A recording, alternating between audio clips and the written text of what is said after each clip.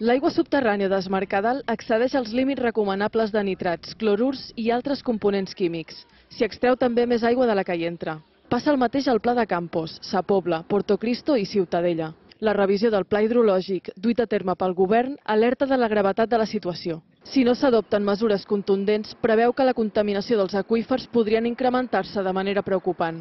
Fins a un 77% de les masses d'aigua subterrànies presenten problemes.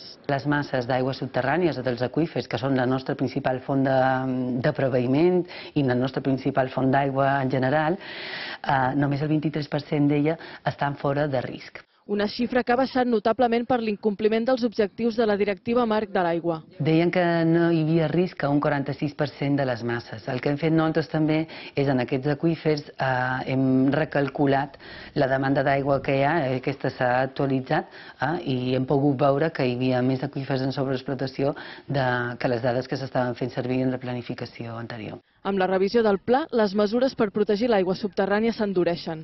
Així, queda prohibit obrir nous pous a tota la costa i s'imposa la distància mínima de 100 metres, en el cas de Mallorca. La idea és que la, la cunya d'intrusió salina, que és aquesta eh, llengua d'aigua salada que penetra dins del continent, no avanci. La prohibició s'extén a les masses actualment sobreexplotades i a les zones d'aquest mapa assenyalades en vermell, on s'ubiquen els aqüífers en pitjors condicions o amb major risc de contaminació.